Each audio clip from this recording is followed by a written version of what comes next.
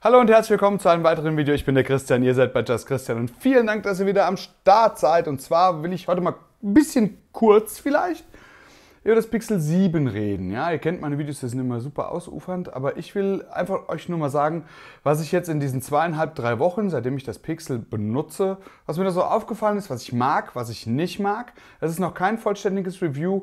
Kleiner Spoiler, es gibt auch noch Vergleiche zu anderen Geräten. Ne? Deswegen, wenn ihr das nicht verpassen wollt, ihr kennt diesen YouTube-Sprech hier, Glocken dalassen und äh, Abo und ihr macht, was ihr wollt. Aber wenn ihr es nicht verpassen wollt, dann schaut öfter mal hier rein. Da kommt das dann wahrscheinlich. Nach dem Intro geht's los. Prima, Intro ist geschafft. Wir bleiben von vorne, weil es ja noch kein richtiges Review ist. Ich werde euch erstmal sagen, äh, was jetzt hier so am Start ist, was mir, wie gesagt, aufgefallen ist. Und wir fangen mit den negativen Punkten an, gehen dann zu neutral und dann gucken wir uns an, was mir dann wirklich gut an dem Gerät gefallen hat. Unten habt ihr Sprungmarken, da seht ihr von negativ über neutral zu positiv. Da könnt ihr anschauen, wenn ihr euch für die negativen Punkte nicht interessiert, dann könnt ihr weiter skippen, wie ihr das wollt. Okay, legen wir los. Was ist mir negativ aufgefallen? Und da geht es von vornherein schon mal direkt um den Lieferumfang. Es ist einfach nur eine Box mit dem Gerät, einem Dongle und einem Kabel drin und dann halt das natürliche, standardmäßige Papierquatschzeug. Das heißt, es ist kein Lader dabei. Und ich werde nicht müde, es immer wieder zu sagen, ja, ich hätte gern einen Charger. Warum hätte ich gerne einen Charger? Das Gerät ist auch relativ bockig, sag ich mal. Das war das Pixel 6 schon, wenn es darum geht, irgendwelche anderen Charger anzuschließen. Es lädt mit 20 Watt roundabout, sowohl kabellos als auch kabelgebunden, aber nicht mit jedem Charger. Ich habe es ausprobiert, ich habe äh, 65 Watt von anderen Herstellern und so weiter dran gepackt, dann lädt es fast langsamer als, und jetzt kommt es mit dem Samsung 25 Watt Lader. Das ist der, den ich aktuell dafür benutze, weil ich auch Samsung-Handys nutze. Und dann habe ich gedacht, nö, ich gebe jetzt nicht nochmal Geld für diesen 30 Watt, hier 30 Euro für diesen 30 Watt Charger aus. Ich probiere es einfach damit. Und damit lädt es tatsächlich am schnellsten. Man braucht dieses PLL-Dokument da und dann, dann, dann lädt, also diesen Standard da und dann lädt es diese 20 Watt. Ansonsten kann das auch weniger sein. Deswegen hätte ich gerne den Charger in der Box. Ja, das wäre ja wie wenn, was weiß ich, Xiaomi hier solche Geräte auf den Markt bringt und sagt hier 120 Watt, super schnelles, obergeiles Laden und legt den Charger nicht mit rein. Ne? Und genauso ist es hier, wenn ich nicht mit anderen das erreichen kann, ich hätte ihn halt gerne dabei. Kommen wir da gleich zum nächsten Punkt. Diese 20 Watt, die sind für mich in der heutigen Zeit, wir haben 2022, zu langsam. Ja, natürlich kommt jetzt der eine und sagt, ja, aber schnelles Laden macht ja den Akku kaputt und ich lade eh über Nacht. Okay, ich bin der Meinung, so ein Ding muss das aushalten können, wenn sie es anpreisen. Und ja, wenn du über Nacht dein Gerät lädst, dann ist es für dich auch überhaupt kein Problem. Dann ist das, dann vergesst diesen Negativpunkt, den ich jetzt gerade genannt habe. Für mich aber schon, gerade wenn ich abends vielleicht mal so ein bisschen knapp bin und dann noch rausgehen möchte oder noch irgendwas, was ich, auf eine Veranstaltung gehe oder sonst was und dann nochmal schnell nachladen will, ist nicht mit schnell nachladen. Ich brauche locker flockige 90 Minuten, wenn nicht sogar ein bisschen länger. Gerade die letzten Prozent, die dauern ja immer dann so ein bisschen, ja, bis das Ding wieder voll ist. Hier bin ich, was weiß ich, äh, ja, 20 Minuten ist das Ding von 0 auf 100. Zum Beispiel, ja. Apple macht das ähnlich langsam, Samsung macht das auch langsam mit 25 Watt oder bei ihren besten Modellen mit 45 Watt. Aber das ist, könnte man da durchaus da mal ein bisschen was nachliefern. Ja? Also das finde ich dann echt Schade bei der ganzen Geschichte. Ha. Und das war's schon mit den negativen Punkten. Also ihr seht, ich, ich mag das Gerät. Ja. Kommen wir mal zu Neutralpunkten. Also es war jetzt echt nicht viel Negatives, weil sie mit dem Gerät einiges richtig machen. Kommen wir mal zu Neutral. Neutral ist für mich ganz klar das Display. Das Display ist ein Full HD Panel mit 90 Hertz. Es wird noch mal etwas heller wie der Vorgänger. Könnte ein Ticken heller in dem Sonnenlicht sein. Ja, es wird hier im Automatikmodus auch noch ein Ticken heller aber äh, nur 90 Hertz, was es dann für mich neutral macht. Versteht mich nicht falsch, es ist ein gutes Display, also es macht total Spaß drauf, da äh, irgendwas zu gucken und äh, zu konsumieren und Spiel zu spielen und so weiter.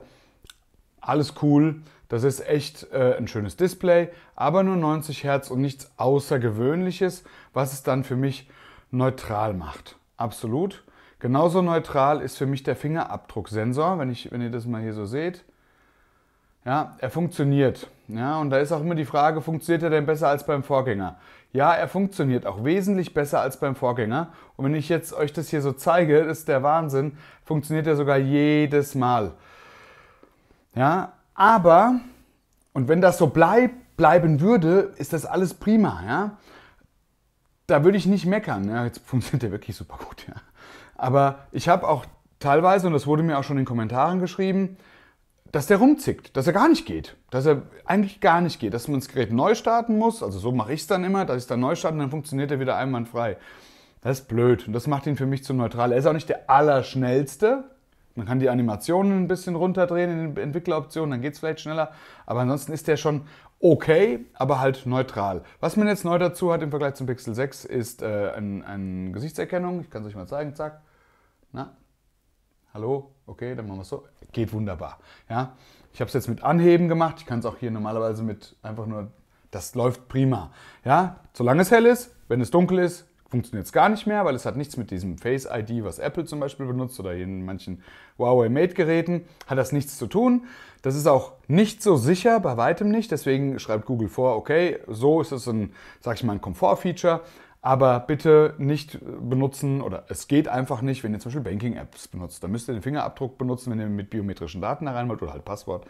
Ja, da, da, funktioniert es dann nicht. Im Dunkeln funktioniert er gar nicht. Da muss man einen Fingerabdrucksensor benutzen. Wenn er so gut funktioniert, wie es jetzt gerade tut, dann ist alles gut. Wenn nicht, dann kotzt man ein bisschen. Aber es ist für mich trotzdem nur neutral. Aber schön, dass man die Chance hat, das so zu machen.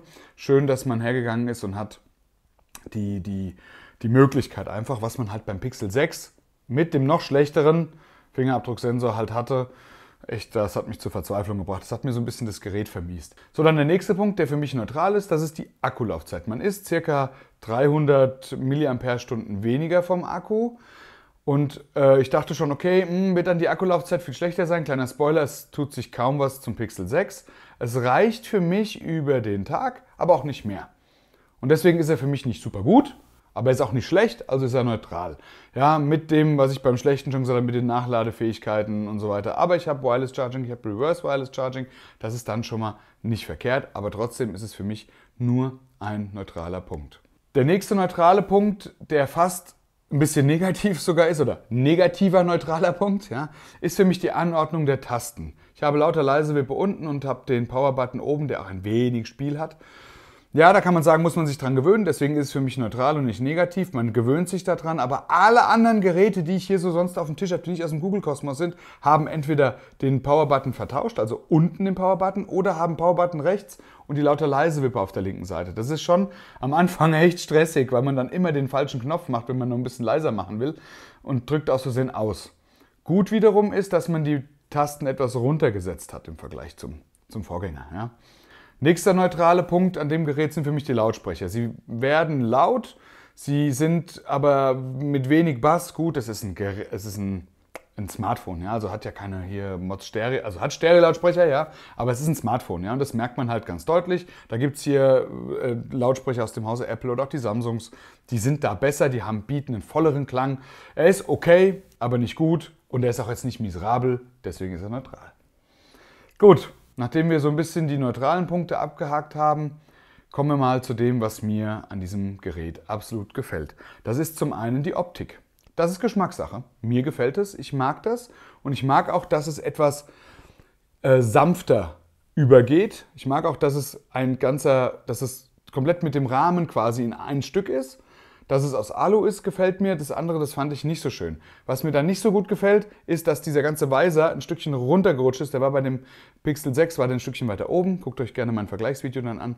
Da zeige ich euch das dann nochmal. Aber das trotzdem, wie es gebaut ist, wie es gemacht ist, gefällt mir ganz gut. Ja, die Tasten, außer ein bisschen Minimalspiel, sind sehr clicky. Gefällt mir wirklich gut. Das ganze Gerät ist rundherum ungefähr einen Millimeter schmaler geworden. Display ist nur noch 6,3. Es ist auch 10 Gramm leichter geworden und das hat dem Gerät absolut gut getan. Ja? Es ist immer noch ein großes Gerät, versteht mich da nicht falsch. Es ist jetzt nicht irgendwie so ein S22 mit 6,1 Zoll Display, Diagonale, so klein und handlich. Und wenn man jetzt nicht die Riesenpranken hat, und selbst mit meinen großen Händen komme ich auch nicht ohne umzugreifen oben an äh, irgendwelche Ecken von, von Apps und so weiter. Das äh, ist trotzdem noch ein großes Gerät. Aber es hat ihm trotzdem gut getan. Ich mag die Haptik, ich mag es, wie es in der Hand liegt. Ich mag den neuen Weiser. Äh, ich mag es, dass der Fingerabdrucksensor verbessert wurde, wobei der Fingerabdruck itself neutral ist, habt ihr ja gesehen. Gut, und ich mag es, habe es ja schon gesagt, dass es mit Face zu ansperren ist. Zu ansperren. Oh Gott, Englisch at its best. Ja, aber dass man es auch dem Gesicht entsperren kann, dass man die Möglichkeit hat. Ja? Aber ansonsten ist das von der Verarbeitung her gefällt mir das gut. Des Weiteren mag ich, dass es ganz viele Haken setzt. Was meine ich damit? Wir haben ein IP-Rating, IP68. Mehr ist eigentlich außer dann Militärstandards, aber so im Smartphone-Bereich eigentlich nicht drin. Ja, das machen manche in dem Preisbereich nicht, dass ich Wireless Charging habe, dass ich natürlich normales Charging habe, aber Wireless Charging mit Reverse Wireless Charging, was zum Beispiel iPhones nicht machen. Ja, ich habe äh, ein Rundum-Paket ja, mit einem guten Display, so das ganze gutes Display, die ganzen Möglichkeiten, diese ganzen ähm, High-End-Features, die ich hier drin habe zu diesem Preis, äh, was es kostet. Und das ist für mich ganz klar ein Pluspunkt. Absolut. Übrigens, wenn es um Farben geht, es gibt noch diese Lemongrass-Farbe und die Obsidian, sprich schwarz. Holt euch entweder Lemongrass oder das hier. Ihr seht keine Fingerabdrücke. Die schwarzen, dunklen, die sehen aus wie Hulle nach einer kurzen Zeit. Hier sehe ich so, sehe ich gar nichts. Außer ich halte es so ein bisschen ins Licht. Aber ansonsten ist das cool. Ja, das gefällt mir auch sehr gut. Nächster Punkt, und jetzt sind wir bei der Performance. Das war schon beim Pixel 6 am Anfang schlecht. Dann kamen Updates, die das besser gemacht haben. Hier waren wir out of the box eigentlich gut. Hier und da haben mir Zuschauer berichtet, dass es dann doch in manchen Apps zu Mikrorucklern oder komische Abstürze oder nicht richtig angepasst und so weiter. Ja, das ist immer so, wenn ein Gerät neu rauskommt, aber aus den Startlöchern kommt dieses Gerät wesentlich besser als der Vorgänger und das finde ich gut. Die Performance im Alltag, ich stelle immer die Animationen auf 0,5, könnt ihr den Entwickleroptionen machen und dann ist das, nee, auch ohne das ist es ein super smoothes Erlebnis. Es geht schnell, es sieht schön aus. Ich habe nie das Gefühl, es wäre irgendwas langsam. Es geht ratzi fatzi, rattenschnell. Ich kann damit Spiele spielen, ich kann damit alles Mögliche machen. Das geht, die Performance im Alltag ist bombastisch gut. Die war sie dann aber zum Schluss auch beim Sechser schon. Ja? Und der Unterschied, das ist wie gesagt ein anderes Video. Nächster Punkt, den ich absolut mag, ist die Kamera. Ja, wir haben nur zwei Brennweiten, aber ihr wisst, ich benutze meine Kamera so normalo, so wie ihr wahrscheinlich da draußen. Ich bin kein Profifotograf damit, ich will einfach schöne Bilder haben. Natürlich, immer Bilder sind Geschmackssache, deswegen schaut euch dann auch gerne mein Vergleichsvideo zum Pixel 6 an. Da habe ich mehr, äh, da habe ich Bilder gemacht, dann da könnt ihr sehen. Ähm, ich finde diesen Pixel-Look mit diesen übertriebenen, oder der eine sagt übertriebene Schärfen und nicht ganz so knalligen Farben, finde ich gut. Das gefällt mir. Da kommen ganz tolle Bilder bei raus.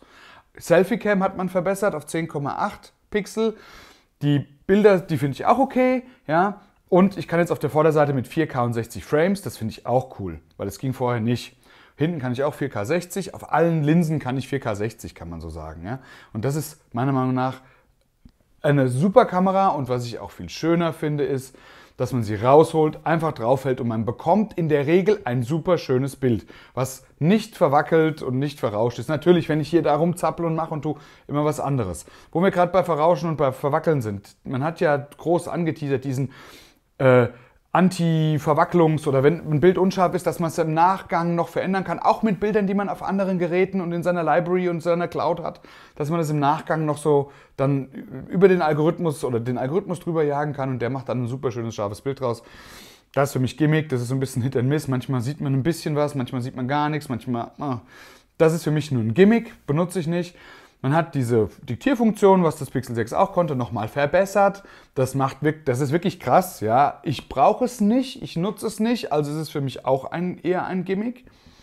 Und dann hat man natürlich hier Magic Eraser, sprich aus dem Hintergrund irgendwelche Sachen rausschneiden äh, äh, und so weiter. Das ist auch ein schönes Feature, benutze ich auch kaum. Ja, deswegen für mich auch nur ein Gimmick. Und dann hat man diesen Kinomodus, wo man dann nur in 1080p die iPhones haben das quasi letztes Jahr so eingebracht, so mit hier in Videos. Jetzt können die es auch in 4K und so. Ah, das ist, das ist ein Gimmick-Feature, das ist, benutze ich nicht. Ja, aber ansonsten gefällt mir die Kamera super gut, ob das jetzt Nacht oder sonst was ist, ist für mich eine super Point-and-Shoot-Kamera und das ist das, was mir im Endeffekt ausmacht. Ich will rausholen, draufhalten, fertig. Auch alle Bilder, die ihr immer bei mir seht, die sind einfach nur raus, draufhalten. Weil so macht es der Normalo. Der hat gar keinen Bock, wenn dann das Kind da rennt, noch hier, bleib mal stehen, ich muss hier nochmal tippen, dass die Schärfe und die Weißabgleich sich automatisch anpasst und Haare und hier und da. Das, nee, das macht man damit nicht, nicht mit einem Smartphone. Deswegen ist für mich die Kamera super gut. Ja, also ich mag die. Ist für mich die lieb meine beliebteste meine, oder meine Lieblingskamera. S21 FE kann da auch, ja, das, die mag ich auch sehr gerne, aber ich mag die fast lieber, weil der Algorithmus, ich finde es immer so gut, man guckt dann da und sieht das Live-Bild und denkt sich, oh, eigentlich nicht so geil, guckt sich in der Library an, er bearbeitet es kurz und es ist eigentlich immer ein schönes Bild. Ja, mag ich, Point and Shoot, super.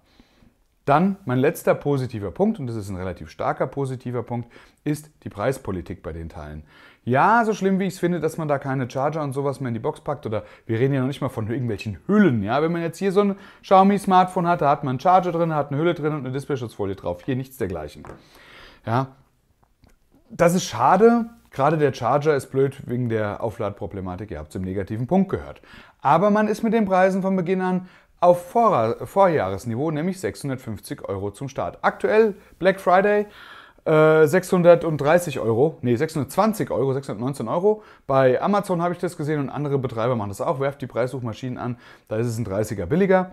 Und das finde ich fair, dass man trotz dieser ganzen Inflation und der starke Dollar und hier und da, so argumentiert ja Apple, tatsächlich geben die diese Preise dann halt einfach fast ungefiltert an den Endverbraucher diese gestiegenen Preise weiter, deswegen sind die iPhones teurer geworden. Man hat seitens Apple auch so ein bisschen auf Gewinnmarge verzichtet, aber trotzdem sind sie dadurch keine Samariter und geben trotzdem den gestiegenen Preis weiter. Hier verzichtet man auf Marge, man bleibt bei dem Preis. Und was uns in Deutschland natürlich freut. Und für 630 Euro, sage ich auch ganz ehrlich, ist das ein Top-Allround-Gerät, was nicht viel falsch macht in meinem Use Case. Natürlich habe ich auch schon Kommentare gelesen, die sagen, nee, nie wieder, nie wieder Pixel und das ist trotzdem da schlecht und so weiter. Das war im Pixel 6 noch krasser, diese Kontroverse. Das ging von hin, ein Gerät nicht zum Gebrauchen bis hin zu das beste Gerät, was ich jemals benutzt habe. Ich habe diese Fehler, einige konnte ich da reproduzieren, dass Google eigene Apps hier wie so YouTube und YouTube Studio nicht richtig liefen. Hier hatte ich das jetzt nicht. Ja, also aus dem Start kam das besser und für mich, ich finde es absolut klasse. Ja, es ist ein absolut tolles Gerät und wenn es dann 630 Euro kostet, ja. Solltet ihr upgraden, wenn ihr das Pixel 6 besitzt und euer Pixel 6 anständig läuft? Natürlich nicht. Da müsstet ihr echt schon wirklich äh, Tech-Enthusiast und das als Hobby haben, immer neue Smartphones zu haben, dann von mir aus, dann kauft euch das, aber da habt ihr wahrscheinlich auch das Pro, nicht das normale. Aber wenn ihr ein Pixel 6 habt, für mich, ich sehe keinen Grund, dann da jetzt hier äh, da groß abzugraden. Die Software, die wird fünf Jahre lang aktuell gehalten. Nee, die Sicherheitsupdates werden fünf Jahre kommen, drei Jahre Software-Updates, aber Sicherheitsupdates über fünf Jahre. Das heißt, da seid ihr über fünf Jahre auf der sicheren Seite. Ja, und wenn ihr jetzt ein Jahr abzieht, weil ihr das Pixel 6 habt, dann seid ihr noch vier Jahre auf der sicheren Seite. Hey, da braucht ihr nicht abzugraden. So groß ist dann der Unterschied dann doch nicht. Man könnte sagen, das ist ein 6S oder sagen wir anders, und das ist dann auch mein Schlusswort, es ist ein Google Pixel 7, wie es das 6 hätte sein sollen. Also so hätte das 6 auf den Markt kommen müssen. Und dann sage ich danke, dass ihr zugeschaut habt. Ich hoffe, es hat euch gefallen. Wenn ihr Fragen, Sorgen, Nöte, Anträge habt, runter in die Kommentare und ich hoffe, wir sehen uns beim nächsten Video wieder. Macht's gut, bis dann. Ciao, ciao.